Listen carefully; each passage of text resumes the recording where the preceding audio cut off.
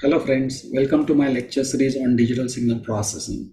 In the previous lecture, we saw the concept and physical interpretation of Fourier series and Fourier transform and discretization of signals using sampling theorem. Fourier series gives the spectrum of periodic analog function.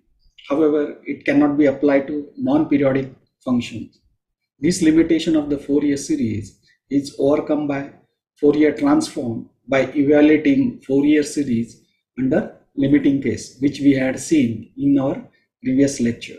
The Fourier transform gives spectrum of periodic as well as non-periodic functions, which includes both signals and systems. However, the Fourier transform also has a limitation that is it doesn't give information about attenuation and transient experienced by signal whenever it is passed through a system because very often system has resistive element which causes attenuation in the signal while energy storage elements like inductor and capacitor which causes transient in the signal and hence the Fourier transform limitation which is overcome by introducing a new model which results in Laplace and Z transform. So in today's lecture we are going to address the limitation of Fourier transform and the solution for that limitation as Laplace and Z transform.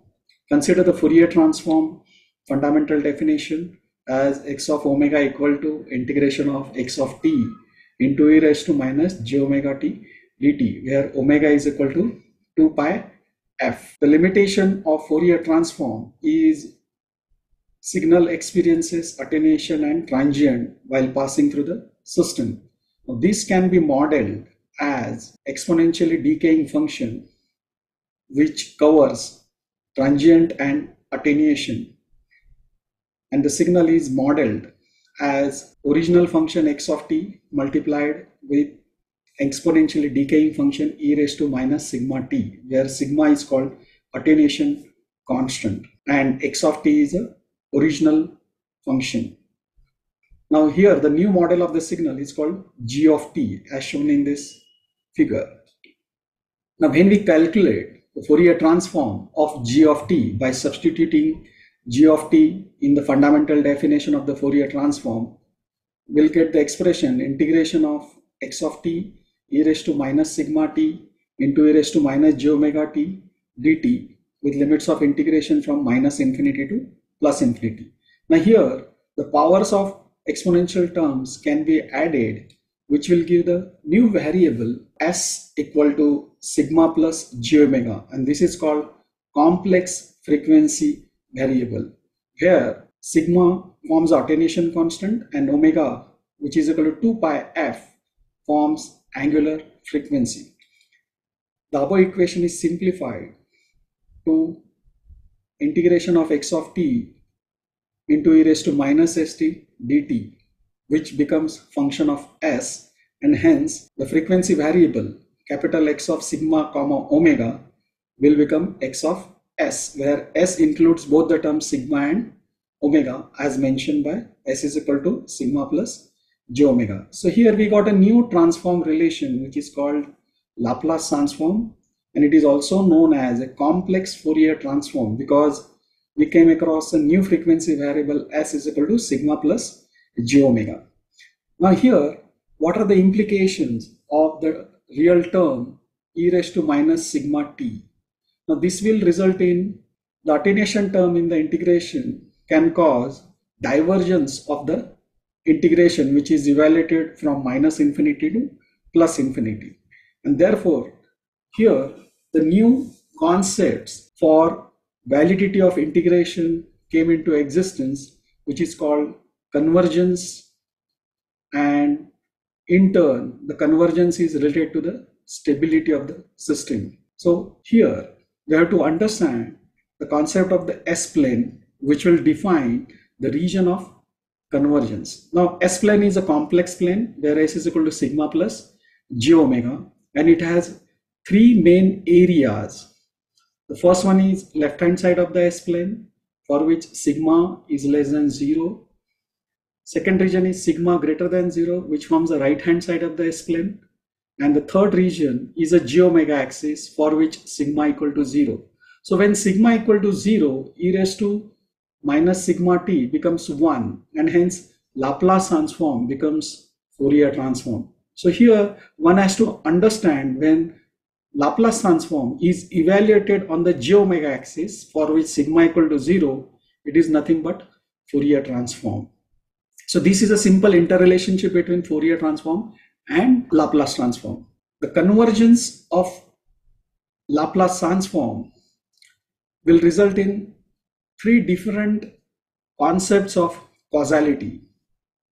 Here, if you consider the integration from minus infinity to zero, then x of t, which exists for t less than zero, is called anti-causal function. The term x of t evaluated from 0 to infinity is called causal term.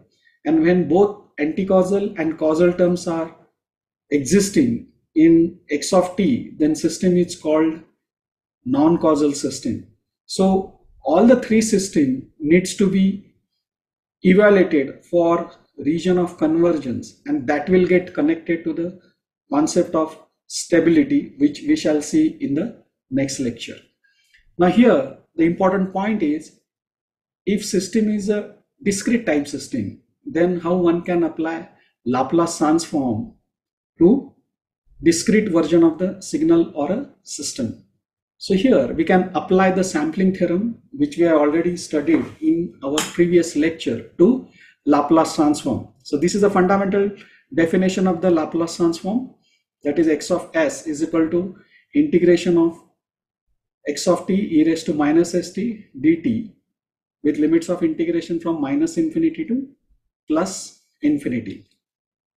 Now when signal or a system is discretized in time domain using train of impulses, then signal model becomes xs t equal to x of t multiplied with s of t, which in turns become x of nts. That is, signal exists only at the sampling interval which is sampled at uniform time interval ts and that can be equivalently represented as a x of n because ts is constant. When you apply the sampling theorem to Laplace transform equation, then the integration will become summation. E will become nts and therefore x of t will become x of n. Now e raised to minus st can be computed by substituting value of s. Now here s is equal to sigma plus j 2 pi f into nts where t is substituted as nts. Now ts can be written as 1 by fs and when move inside this term then the effective term st is equal to sigma ts plus j 2 pi f by fs into n. So f by fs is called digital frequency or a normalized frequency. Therefore, the e raised to st term becomes e raised to sigma ts raised to n into e raised to j 2 pi fn where 2 pi f can be replaced by omega. And hence, the final equation for e raised to st is equal to r into e raised to j omega n, where r is equal to e raised to sigma ts, which becomes a real term. Now, this new term r into e raised to j omega forms the equation of a circle, where r is a radius of the circle, while omega is a angle of the vector with respect to x-axis.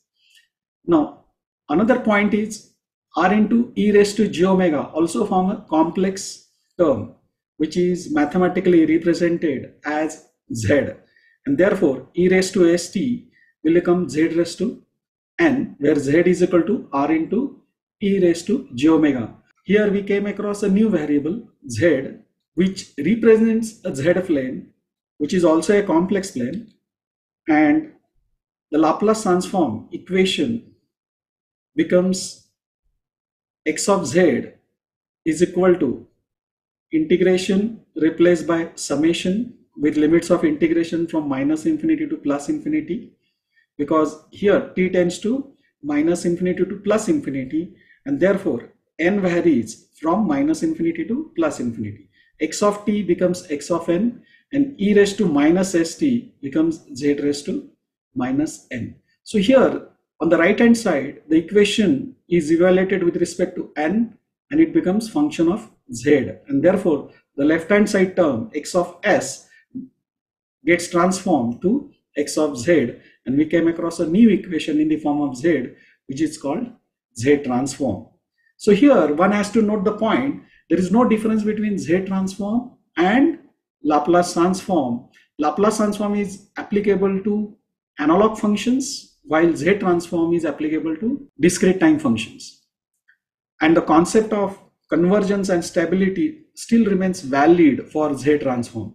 And hence, whenever we are studying Laplace and Z transform, we also study the region of convergence and stability, including the causality of the function, which forms very important design aspects in analog and digital system design. Now, since Z plane, which is a complex plane, however, it represents equation of a circle. So it is represented as a circle in a complex plane with radius r and angle omega. So z is equal to r into e raised to j omega, which will form a circle in the z plane. Now here, the circle in the red color indicates radius equal to 1.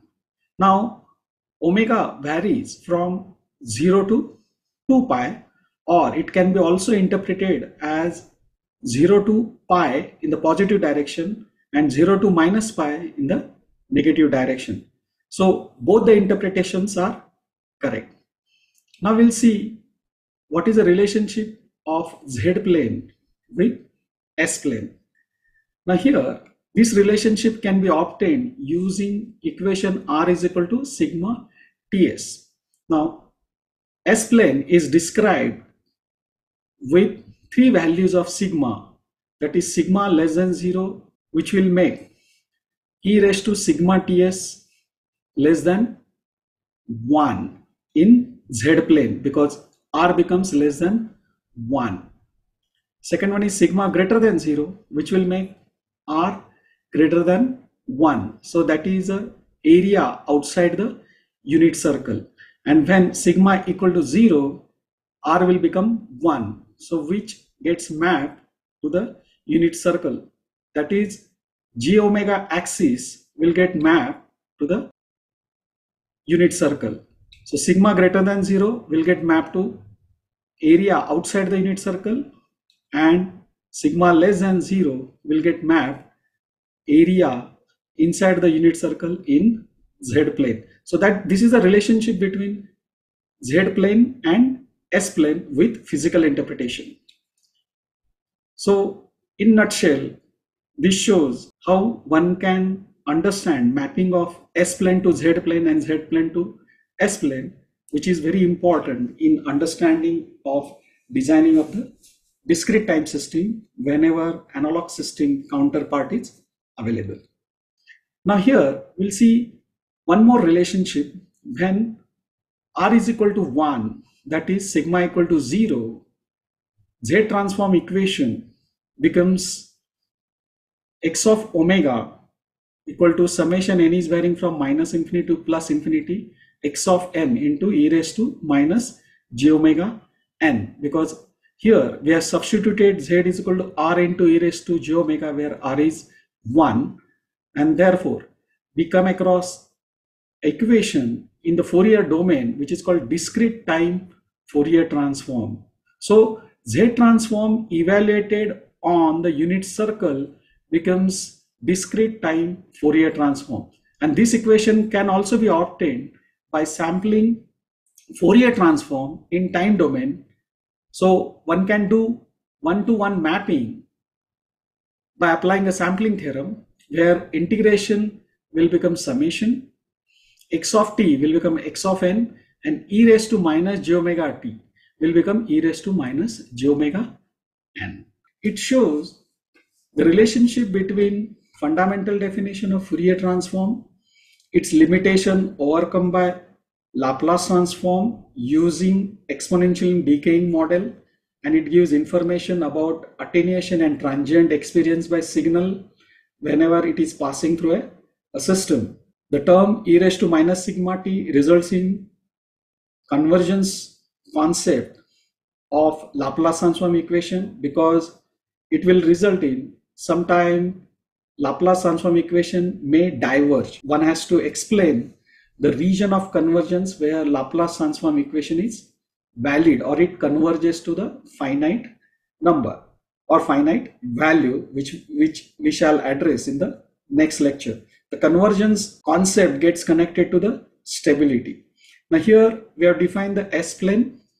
There are three regions and then sampling of laplace transform in order to apply to the discrete time function which results in a Z transform equation. So S plane gets mapped into a Z plane with three different areas in the circle where sigma equal to 0 maps to unit circle, sigma less than 0 maps to area inside the unit circle while sigma greater than 0 maps outside the unit circle. So this gives interrelationship of Fourier transform, Laplace transform and Z transform and since there is a concept of convergence and stability, we have to see the constraint on the equations of Laplace and Z transform, which we shall see in the next lecture. When discrete time Fourier transform is sampled in frequency domain, then the equation becomes DFT, which we shall see in another lecture. And the fast algorithms of the DFT becomes FFT. So this lecture gives a overall representation of Fourier transform, Laplace transform, Z transform, discrete time Fourier transform, and the sampling of discrete time Fourier transform, which gives discrete Fourier transform, and the fast algorithm of discrete Fourier transform results in FFT. So in the next lecture, we'll see the concept of convergence and stability. I hope you must have enjoyed this lecture and thank you for your patience and watching my show.